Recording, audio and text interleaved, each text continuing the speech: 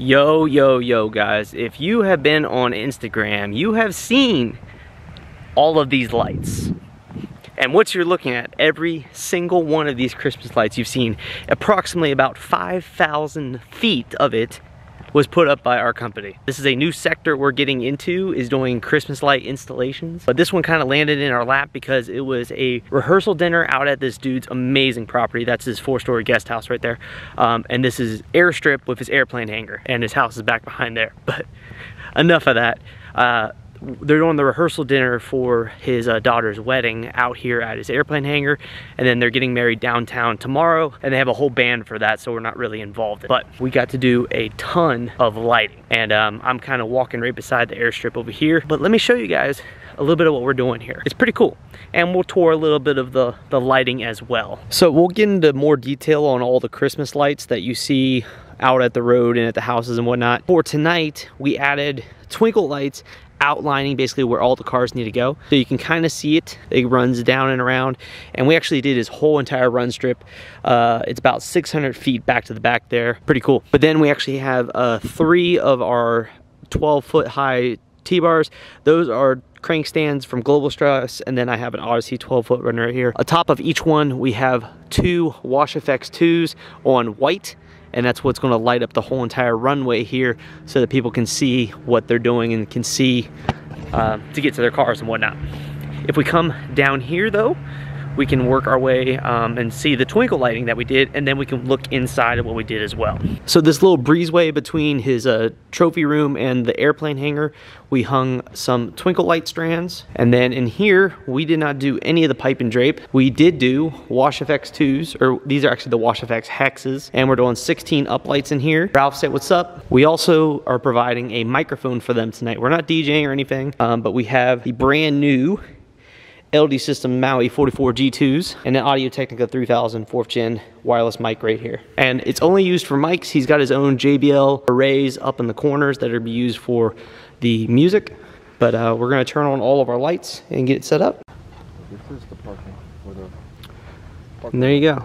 The lighting goes all the way down past his airplane. It's actually 350 feet that way. And then uh, those are the Wash FXs loaded up, three 12 foot stands, all set ready to go. And here is what inside the airplane hangar looks like with our lighting. So you got 16 of the S4s on a soft white around the room and two Wash FX hexes shining up on the ceiling. How we got them up that high was with our Georgia Expo. Those are the 30 something inch, 90 pound base plates and pipe and drape pole. Black pipe and drape pole up to about 11 and a half feet. And then I think I showed this already, but the Maui 44 G2 Audio Technica, good to go. And there you have it. We've transformed the room to a nice soft white for nice airy partying.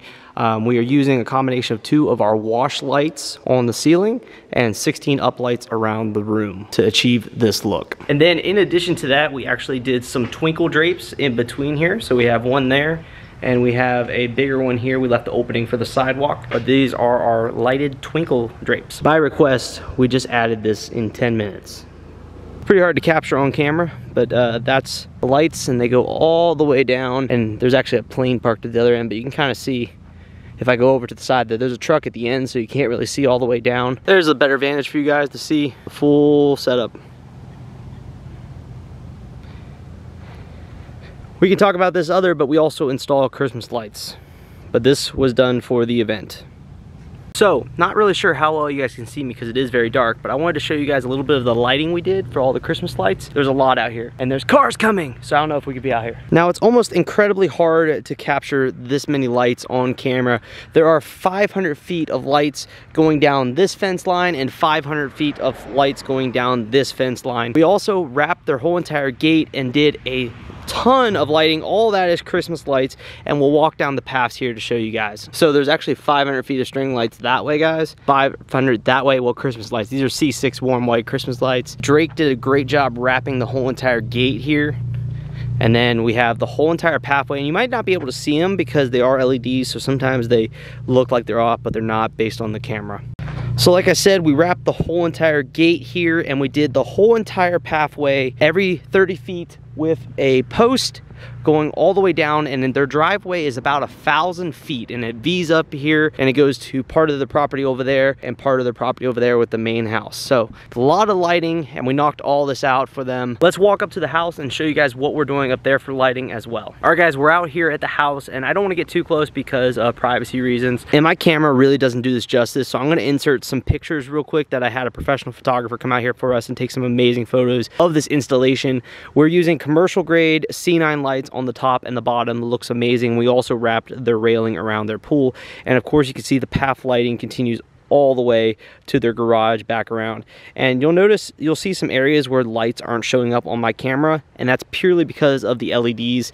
It's just how it looks on camera when you're filming. And like I said, this camera doesn't do it any justice, but I'm gonna put some pictures, some more pictures here at the end of all the pictures we had taken professionally of this facility, including the guest house over here where we wrapped and put some more around roof line over there. But if you guys need anything, contact us on our website, get with us, get in touch, and we can install Christmas lights on any house of any size. We work to design it and all that fun stuff. So Greensboro Christmas Lights, check us out on fusionsoundlighting.com. That is our main company. A branch of it is the Greensboro Christmas Lights. Check us out. We'll install Christmas lights on your house. What's up guys? We are back here at Splendor Pond. We, we've been here quite a bit this year. Um, today we added market string lighting today. So me and Ralph back there set up basically two X's here. There's an X there, there's an X there of our Bistro lighting. These are actually not glass. They are plastic LED bulbs, but they look like they are glass, which is sick. So we don't have to worry about breaking bulbs. I have a whole video on how you we actually hang our string lights. These are not just the strands. The strands are actually connected to some stainless steel black vinyl wrapped wire that goes from side to side. There's some collars. Go check out that video on my channel. Just look up how to hang glass string lighting. I believe in that video I'm actually hanging glass, like actual glass glass. We used to do glass. They now sell the plastic LEDs, which are awesome. They never burn out. They never break. They do cost more up front, but they're well worth it. So, looks awesome. And they're on dimmers too, which is cool. Of course, we also have uh, about 20, I think 22, 23 uh, lights around the whole entire room. Those are, of course, the Both Lighting S4s, my go-to uplights. We have the turntable booth over here. I'm rebooting my laptop right now. Pro tip, if you never caught a pro tip of any sort, always, always, always restart your computer before every event. We're running Chauvet Show Express back here on the HP Spectre 14T. This is the 14 inch. I don't even think they make the 14 anymore. 15 inch in for the DJ. We have our audio rack back here. Yamaha MG12 as always. Drive rack PA2 beautiful. Our dance floor speaker fill, if you guys don't know, at Splendor Pond, we already have a built-in sound system for the whole entire room with some JBL pendants. There's six JBL pendants up there, two up there, and there's an 18-inch JBL PRX up top that provides the full sound coverage for this room. But we add some concentrated dance floor fill with a speaker. The speaker of choice today is our LD Systems Maui 44 G2 this speaker right here, this bad boy right here, is a game changer. It costs a lot, but it's a game changer.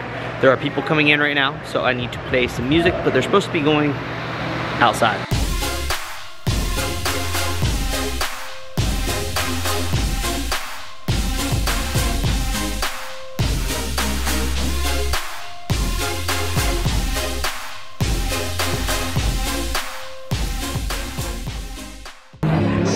Quick check-in. We have an amazing fog out here over the little pond slash, oh yeah, pond. Bride and groom right down here taking some photos. A little bit wet, cocktail vibes. Very good cocktail vibes today, if I do say so myself. And fire, the atmosphere, it's all perfect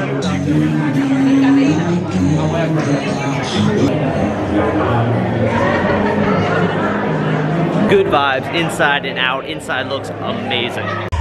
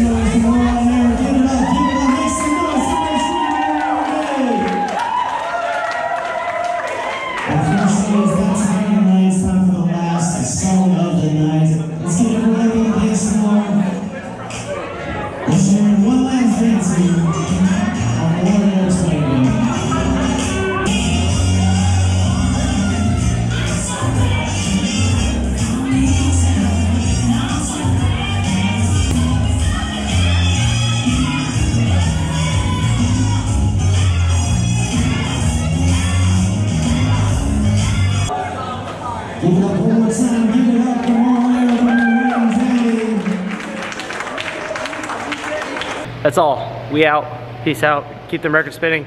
Uh, like, comment, subscribe. We'll see you in the next one. Peace out.